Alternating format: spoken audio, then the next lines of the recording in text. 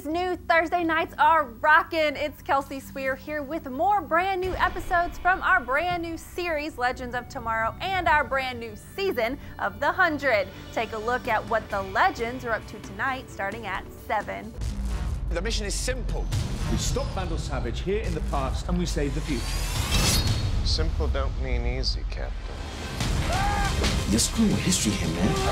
I am a god! I never said it was. DC's Legends of Tomorrow.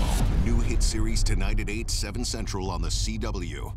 Follow that up with The Hundred. Tonight, Bellamy learns something is not what it seems, and Murphy plots a betrayal. See that at 8. But you can stay in touch with the CW Lake Charles around the clock on Facebook, Twitter, and Instagram, and at CWLakeCharles.com. I'm Kelsey. Bye, guys.